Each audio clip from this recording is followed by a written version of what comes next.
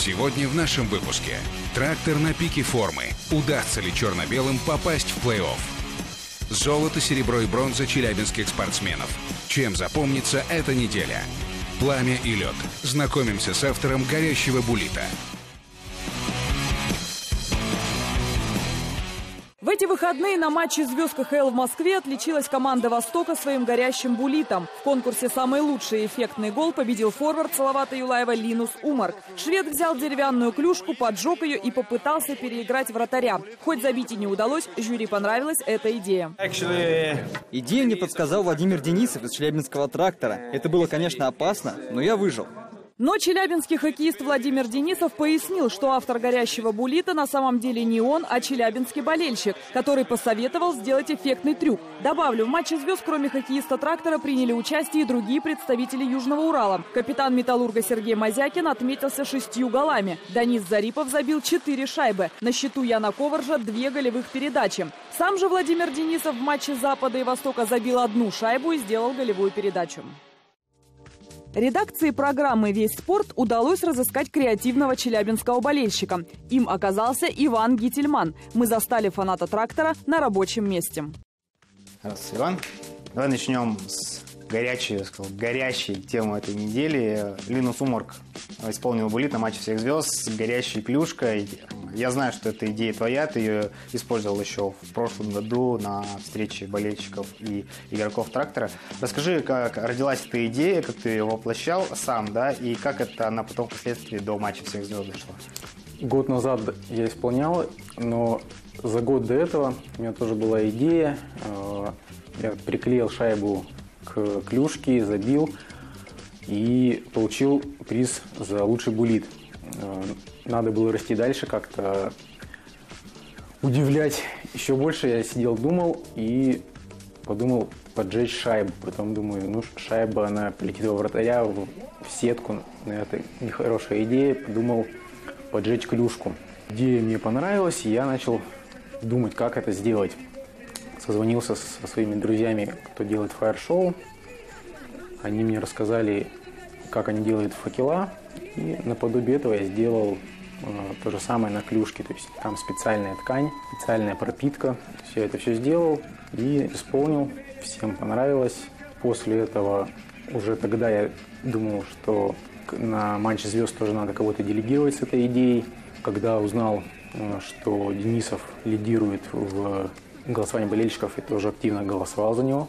И после того, как он победил, э, я связался с ним через Дэрона Квинта. Э, как с Дэроном мы знакомы, я попросил его организовать встречу.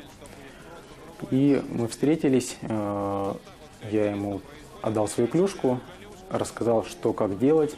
В принципе, он бы исполнил это замечательно, но его поставили на другой конкурс, и он не стал, видимо, с организаторами спорить, просто передал идею Умарку, который исполнил практически на 100% нашу задумку. Осталось только ему забить. Ну, давай поговорим про вот этот матч, который был между болельщиками и игроками трактора. Это был конец прошлого сезона, когда мы попали в плей-офф, потом благополучно из него в первом раунде выбыли. Тогда болельщики свой кредит доверия высказали к тренерскому штабу во главе с Андреем Николишиным, но по ходу уже этого сезона а, милость даст милость на гнев уже было такое где-то в середине сезона, скорее бы он ушел. Почему так произошло? В том году Николишин не готовил команду, он не проходил с ней предсезонку, и поэтому э, нельзя было его оценивать на 100%. То есть он пришел посередине сезона, команда не попадала в плей-офф, с ним она попала, но мы еще не знали Николишина как тренера. Э, не увидели мы этого и в этом сезоне. Предсезонка была провальная, я считаю, руководство сделало правильные выводы, что поменяли тренера. И как игрок Николишин себя зарекомендовал. Мы знаем такого профессионала, хорошего игрока Николишина, но хорошего тренера Николишина я такого не знаю.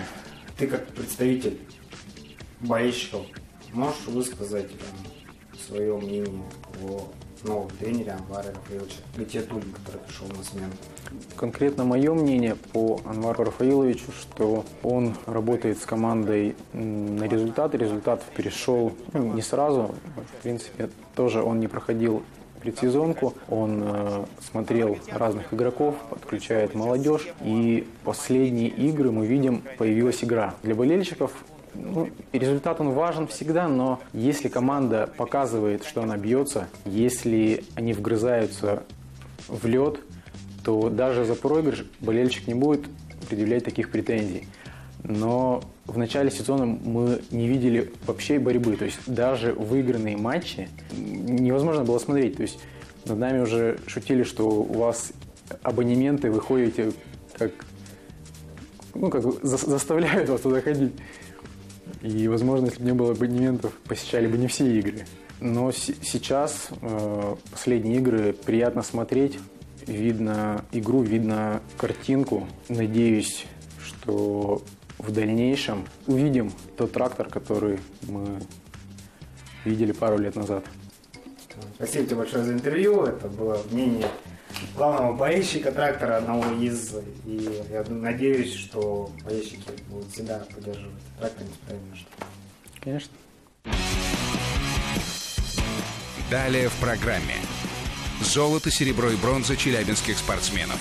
Чем запомнится эта неделя? Трактор на пике формы. Удастся ли черно-белым попасть в плей-офф? До окончания регулярного чемпионата КХЛ остается чуть больше двух недель. Пока лидеры турнирной таблицы начинают готовиться к плей-офф, другие команды ведут ожесточенную борьбу за попадание в восьмерку сильнейших.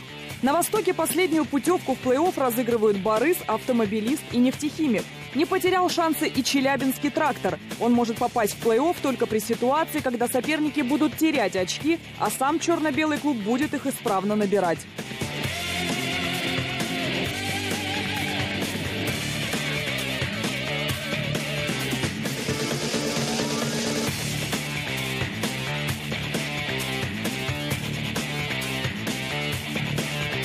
Пока команды, которые находятся выше трактора, не дают возможности Челябинскому клубу приблизиться к себе.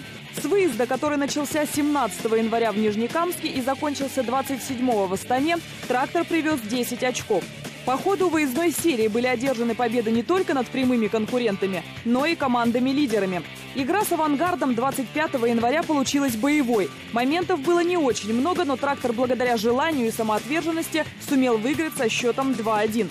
Победу черно-белым принес Максим Якуценя, который завершил прекрасную комбинацию партнеров. Хорошая передача на свободный лед и Пестунов. Передача и гол все-таки Якуценя. Ну классно разыграли ребята, молодцы. Одно очко подопечные Анвара Гатиетулина набрали в матче с Борисом. Сама игра получилась сумасшедшей по накалу. Черно-белые проигрывали после первого периода 1-3. Но в начале второго за 52 секунды забили три шайбы и перевернули игру в свою сторону. Э, впереди его ждет э, пятиматчевая гол 4-3. О, я не знаю, друзья, но вы видели когда-нибудь такой хоккей в исполнении трактора последние матчи? Но три очка заработать не удалось. Ударное звено Бориса, Доус, Баченский и Бойт в третьем периоде сравняли счет. В итоге овертайм, булиты и победа Астаны. 5-4.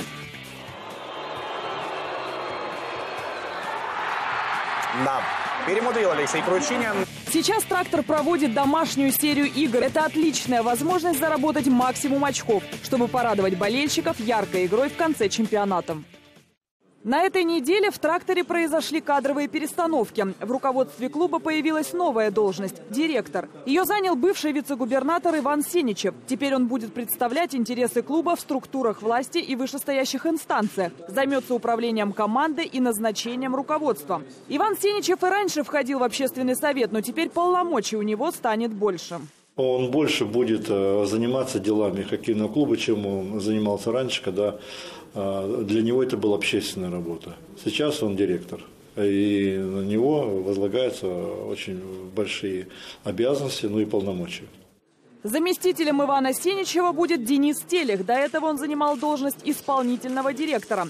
Еще один руководящий орган клуба Совет организации возглавил глава Челябинска Евгений Тефтелев. Также туда вошли и Иван Сеничев, Сергей Гамаляка, Станислав Машаров и Леонид Одер. Председателем контрольно-ревизионной комиссии назначен Сергей Комяков. В остальном структура руководства клуба останется без изменений. Сергей Юрьевич Гамаляка, который занимал должность первого вице-президента, теперь э, будет вице-президентом по хоккейной деятельности. Также, естественно, останутся в структуре генеральный менеджер Евгений Губарев и спортивный директор Алексей Петров. В этом сезоне в команде «Трактора» уже вряд ли произойдут серьезные изменения. Новое направление начнет заниматься подготовкой к следующему. Далее в программе. Золото, серебро и бронза челябинских спортсменов. Чем запомнится эта неделя? Челябинская конькобежка Ольга Фаткулина сохранила свой титул чемпионки страны по конькобежному спорту. Серебряный призер Олимпиады 2014 вновь завоевала золото чемпионата России. Ольга Фаткулина не оставила шансов конкурентам на дистанции 500 метров. Она опередила ближайшую соперницу на полсекунды. По сумме двух стартов, показав результат 76,95 секунды. Добавлю, чемпионат в Коломне был отборочным этапом на чемпионат мира, который пройдет в феврале. Два года назад челябинская спортсменка уже становилась лучшей. Ольга Фаткулина стала второй россиянкой, обладательницей Кубка мира. 18 лет назад этот трофей был в руках у Светланы Журовой. А дзюдоист Ренат Саитов на этой неделе убедительно победил в Гаване. Челябинский спортсмен установил своеобразный рекорд на престижном турнире серии Гран-при. Ренат Саидов одержал самую быструю победу, уложив соперника на татами на шестой секунде финального поединка. Интересно, что два года назад Саидов тоже был сильнейшим на этих стартах. Тогда он заработал высшую оценку на 23-й секунде полуфинальной встречи. Сейчас на острове Свободы челябинский великан, рост Саидова 2 метра 8 сантиметров, заработал 300 рейтинговых очков, на основе которых ведется отбор на Олимпиаду в Рио-де-Жанейро. Но борьба на главные старты четырехлетия будет продолжена во Франции 6 и 7 февраля на турнире серии «Большой шлем». А Челябинский гандбольный клуб «Локомотив Полет» продолжает борьбу в чемпионате России по гандболу среди мужских и женских команд. На этой неделе челябинцы встретились с волгоградской командой «Каустик» и одержали победу 32-31. Сейчас «Локомотив» на четвертом месте турнирной таблицы. До 23 марта, до окончания регулярного чемпионата, нужно остаться в шестерке лидеров. Тогда Челябинский гандбольный клуб отправится на Еврокубок в сентябре этого года. Встретится с сильнейшими европейскими командами. Встретиться европейскими командами уже интересно. Я имею опыт такой, таких встреч, как бы прекрасно это понимаю. И для нас, да и престиж это для всей области. 2 и 6 февраля «Локомотив» ждут домашние игры с «Энергией» из Воронежа и уральское дерби со Снежинским «Сунгулем». Сейчас важно не терять очки в домашних поединках. Это магнитогорец Ирик Сабиров. Только с таким рвением к победе можно было получить золото чемпионата УРФО по КУДО. Совсем недавно борец вернулся из Тобольска, где проходили соревнования среди спортсменов Уральского региона. Вместе с Анваром Хусаиновым они привезли золотую и бронзовую награды. Ирик не оставил шанса своим соперникам. Одержал четыре победы из четырех. Не сказать, что легко. Просто форма была хорошая, подготовка такая мощная, так сказать. Кудо – это вид восточных единоборств, который включает в себя элементы карате, дзюдо, тайского бокса. Анвару Хусаинову дойти до финала не удалось, но бронза все-таки в руках. Последний бой был тяжкий, либо все, либо ничего. Не зря мы занимались все это время. Сенсеи наши нас готовили. И как-то на, на духу уже приходилось выигрывать. Кстати, и самим тренерам пришлось на соревнованиях не просто. В Тобольске они выполняли еще и функции арбитров. Флажки в руках, свисток в зубах. И ты не можешь не подсказать, одни переживания, и как бы ничем не можешь ты помочь. И как бы остаешься еще плюс к этому как бы объективным судьей. Сейчас чемпион УРФО Ирик Сабиров усиленно готовится к чемпионату России, который пройдет в Москве. Не менее усердно тренируется и Анвар Хусаинов. Пока он только в запасе сборной команды Челябинской области. Но терять форму спортсмену нельзя.